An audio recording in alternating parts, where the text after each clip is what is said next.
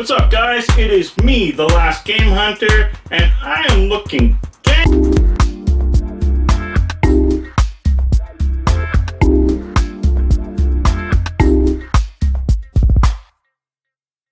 No, no I'm not. I am not gangster looking gangster or prankster. Maybe a bit of a prankster. But guys, today I wanted to talk about the wonderful world of the Xbox Series X.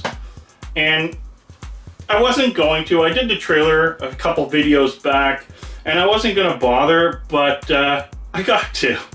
One, it kind of goes back to things I've been talking about with the whole uh, idea that Microsoft is looking forward at the computer thing. And then they build this console that looks like a computer. It's kind of brilliant when you think about it. Because there's a couple perceptions that I look at here. One, the box says power. It's not a big sideways console, even though you can, and yes, the rumors are you can lay it down sideways. So guys that are talking about, oh, it's not gonna fit under my TV or fit in my entertainment center, you can flip it down. So it's not that big when you think about it. It's the width of a controller, guys. It's not massive. But when you look at the idea of it, there's a few things and a few things and a few ideas that make me believe why they did this. One, well, simple. PCs or computers, however you wish to call them, mean power. And if you build a console to look like a PC, it says one thing and one thing only. Power. And to me, that Xbox says that all over it. It's a very clean, sleek, I really actually like the look of it a lot. This is a day one console probably for me. Um, I normally don't jump out on a day one and just go grab the new console, but this one's caught my attention. And there's a couple other design things that I think went on here. One, they didn't go all digital because guess what? We collectors hate digital.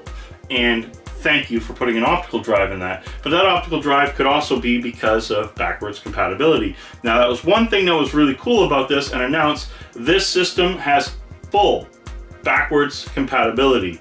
I applaud you, thumbs up, thank you Microsoft, keep up the good work on that. Like any PC, PCs would be backwards compatible one way or another, and Microsoft is keeping that idea and that trend going. So guys, again, back on the PC thing. Remember that talk I had about PC versus console? Well, Microsoft seems to be taking a baseball bat and fixing that. The other thing, remember I talked about the whole idea of play anywhere? So all Microsoft games and, and, and so on. Any new Microsoft or, or game released under Microsoft's control are hoping that it's play anywhere for anybody. So whether you're a PC player or a Microsoft player or a PlayStation player or a Nintendo player, whatever, there's no more fanboy needed. If you like a console, go buy it. And Microsoft stated and, and pushed the whole backwards compatibility thing along with Play Anywhere PC. So you see where I'm headed here. They still know PC in a weird way has a dominance. So why make it look like a PC? Well, one, like I said, it said it stands for power, right? You look at that console, it does look powerful. It really does. It looks like a PC equaling power. And we all know they're PCs anyway, whether it be the PlayStation or the Xbox, they are PCs. They're AMD Ryzen based second generation with these new consoles, or third generation, sorry, Zen 2 architecture, and they are PCs. Why not make it look like it? Why hide it? You can hide it in a box personally. The pictures that are floating around, like this one of the PlayStation 5, horrendous. I personally think it looks like a toy. It doesn't look very good, and there's no optical drive. Now, this is probably just rumor to what it's going to look like, but if it does look like this, I don't want to see it. I think that's nasty. And then we got the Xbox. Now back to what this video is all about. The second thing, besides power, well, cooling. This unit should be cooled, it's cooled by one fan. And when you look at the box, it's the width of a controller, which means you can get away with a 140 mil fan that can take all the heat from the bottom and push it out. Now, one unique thing about this design is what does heat do? It rises. So if you build this type of tower-based PC-looking console, your heat has nothing to do but rise. So all the venting's on top. So even if you didn't have a fan, the heat would actually dissipate out the top. Now with a nice 140 mil fan at the right RPM, you're not only not really going to hear it, so you end up with the quietest console in gaming history, but you also move all that heat out rapidly. Now, AMD and cooling systems have been known lately to be very, very amazing. There's not a lot of heat coming out of these things. Now that with the APU and everything built in, of course, there's going to be a little more heat because now your video and your power are coming from one processor, your APU. Now you're moving that heat, in my opinion, quite well. Love the design. So haters be haters, that's cool. If you don't like the design, it's very simple looking. That's awesome. We're all, you know, able to have our opinion. And in my opinion, I love it. I think it's a very clean, sharp look, keeping with that Xbox idea, you know, that whether it was down sideways, it still kind of looked like that. Throw it up sideways, you still have a tower. They made it look more like a tower. And in my opinion, very innovative and I like the idea of how it can be cooled. I think we have quite the nice product on our hands. Of course, we have to see it, test it, and I, at, at, that point I can actually give you my true thoughts on it. But right now, I think Microsoft's headed in the right direction. They know that PC is a very dominant force. Make it look like a PC. Put the thought in the gamer's mind that you're not just buying a console, you're buying a PC. You see how that works, guys? Brilliant.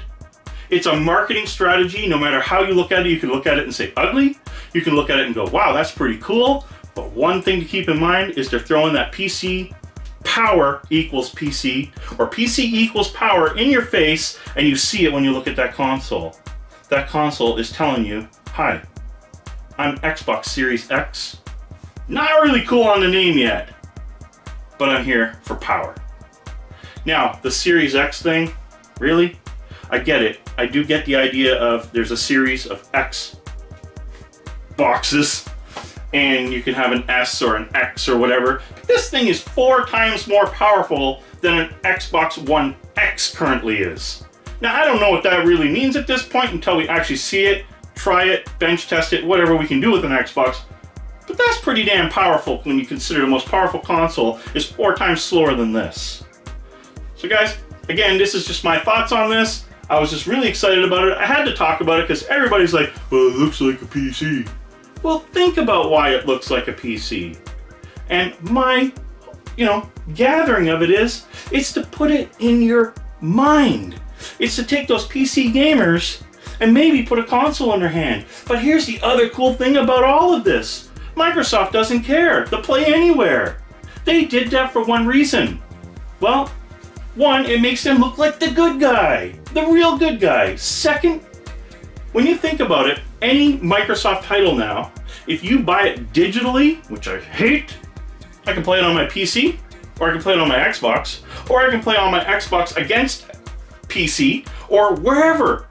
Or I can play it on my PC against an Xbox, or a PlayStation, or whoever. Guys, that's brilliant. That is marketing. That is called brilliant. I think Microsoft may have screwed up the Xbox One or whatever that era you want to call it is, their Gen 3 console. But I think the war is definitely in Microsoft's favor at this point. Now, we have to wait for Sony's announcement, which I think is delayed. Uh, we have to wait to see what they're actually going to say. We have to wait and see what this thing really looks like, because God, if it looks like that, I don't want one. It looks like a flippin' UFO toy. It doesn't look good. It looks stupid. It looks cheap. But that's my opinion. Again, just like you may look at this Xbox and say, mm, I don't like it. We all have our opinions. We're also all, in some weird way or form, fanboys. Do I like the Microsoft product more than I like the PlayStation product? In my opinion, I always have. I was a Sega boy and Sega went to the Xbox love and all my exclusivity and my titles that I wanted on my Sega all of a sudden were on Xbox. And then later on, Sony got some exclusivity as well, which spread the love because I mean it would be suicide for Sega if they didn't do that. But it started with the Xbox original, the OG. And to this day, I will still continue to support and buy the Microsoft product. Will I get a PS5? Just like I did when I got a PS4, when I got a deal on it and it was cheap enough or I made a trade. That's the only way I jump on the PlayStation bandwagon, unless they do something very innovative that catches my attention. But at this point, I do not see it. I think the Xbox is definitely going to win the, we'll call it fourth gen, for them, console war. For uh, PlayStation, it will be their fifth gen. So you got PlayStation with an extra year of generations of power and performance. But we can actually go back and call the Dreamcast the first Xbox and say that this is their fifth gen console as well. But anyway, guys, this is just my thoughts on the whole thing. I just wanted to do a quick video on it. Until next time, guys, please stay tuned for the next episode of me. I wouldn't do that. Just stay tuned for the next episode of The Last Game Hunter and see what is next.